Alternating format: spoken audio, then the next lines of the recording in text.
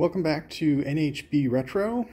We've got a pretty interesting project that I'm going to be starting here. Uh, as you can see, we've got a um, an IBM PC, the uh, 5150, and it looks like it's in pretty rough shape, to be honest. Uh, there's quite a bit of uh, rust on this, showing through the paint here. Uh, there's no screws in anything. We've got an interesting selection of cards in there. Um, yeah, so let me pull the top off and uh, give you guys a look inside and uh, we'll see what we're dealing with. I think this is going to end up being a uh, multi-part restoration for me. Uh, restoration might be overstating it, but um, project, I guess. Uh, but anyway, let's get the top off and see what's inside. All right, here's what we have. Um, two floppy drives. Uh, again, no, no, screws in anything, so these are just sitting in there. Um, they are connected to the controller card, but I don't believe there's anything connected to the power in there. Um, let's see. Let's uh, what's the best way to do this? Let me get you set up on a tripod, and I'll pull some of these cards out, um, and we'll see what we're dealing with. But yeah, the general condition here is dirty. I would say dirty and missing, you know, any missing whatever it could be missing as far as hardware goes. Um, I think it has all the chips. I, I did take a brief look at the motherboard, but yeah, everything's sort of in a disconnected state, um, missing all the hardware. Um, yeah, let me let me uh, set you up and, and, we'll get the cards taken out. Okay, there we go. Um, first of all, let's get the Sound Blaster uh, pulled out here. This is uh, this is an ISA Sound Blaster. It is a 16-bit ISA card, but I assume it's also will work just fine in an 8-bit ISA slot. I'm not really sure. However, it is like really cruddy. Um, at first I thought this was all corrosion. It looks like it's dirt that maybe someone tried to clean off at one point with some water, maybe. um, I don't see any rust or corrosion, so maybe not water, but yeah, it looks like it made mud. Uh, Board otherwise looks okay, so, you know, fingers crossed on that one. Uh, let's pull out this disc controller here. Um, yeah, I'll just leave that like that. Of course, nothing is firmly seated, nothing is screwed in. Um, it was all shipped this way, which, yeah. Um, okay, so there's the drive controller card. Doesn't look terrible on first inspection. I don't see anything obviously um, missing or broken. Um, yeah, so once again, fingers crossed that we've got uh, a working controller card here. Um, uh, okay, then here we have a big old chunk of memory. One thing this, this case is missing is the little front brackets. It only has one of them. Um, if anybody knows a, a place to source those, um, or perhaps if there's a way to 3, 3D print those, I imagine would be pretty easy. Let's pull out this memory card. It's a little bit stuck in there. All right. Whew. Yeah, big, big honking card. Um, this one also looks pretty clean. The, I think that, that Sound Blaster may have been uh, the exception. The, so far, these other boards look pretty clean. It's got um, two empty banks, but the rest of them are all uh, full.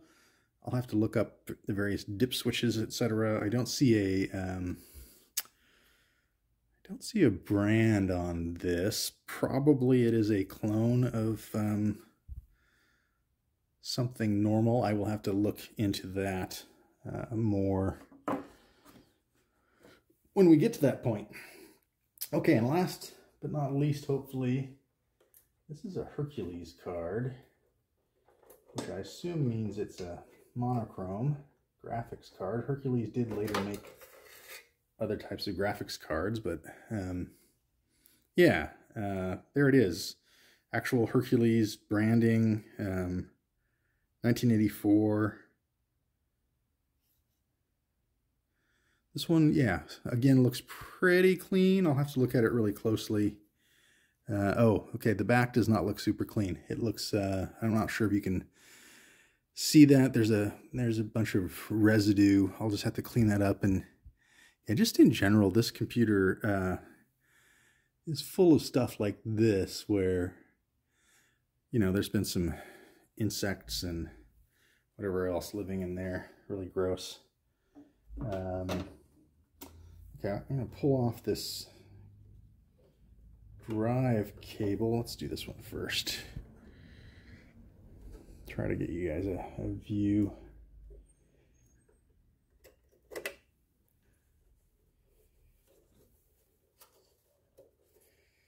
This one here, um, these are both Tandon drives. Uh, this one has an IBM faceplate on it. The other one doesn't, but they're both, you know, the same the same drive.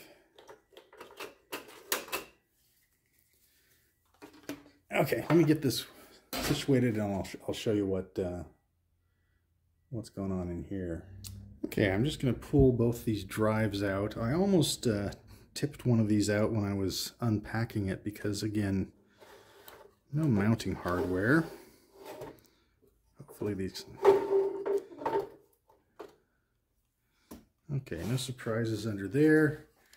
Um, pretty standard these machines as I understand it. I'm not super knowledgeable about those, but uh, there's a good shot of the Tandon Corporation um, TM100-2. And like I mentioned, this one is IBM branded, on the faceplate at least. All right. Let's pull the other one out of there. This one does have one screw, I noticed, but it is only finger tight.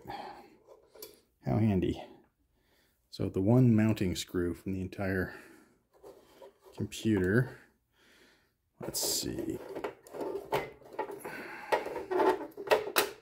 Sometimes these are a little bit touchy just because of all the various bits and bobs that might stick up and hit that.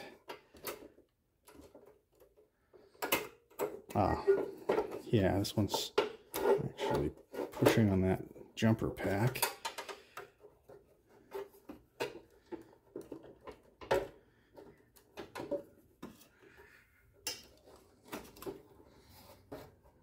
Alrighty. Sorry about that. So yeah, there is the second drive. Um, also says Tandon on it. Um, TM102A. Very uh, prominent Tandon branding in the casting as well. Belt looks okay. We'll be figuring all that stuff out as we go. Okay, so let me um, swing you around here. We'll take a little closer look at the motherboard. Actually, I wonder if I can slide this. Yeah, I'm gonna, um, there actually is one screw in here and a couple standoffs and another screw there. I'm gonna pull this out and we'll get a better close at the, at the um, closer look at the, at the motherboard, which by the way, just on close inspection is filthy. Okay, here we have the um, 5150 motherboard. It's uh, out of the case. Um, and yeah, I mean, basically, like I said, just generally filthy. Um, lots of dust. I'm not seeing anything exploded or um, burned. Bunch of tantalum capacitors that all appear to be intact still. Just filthy, filthy, dusty.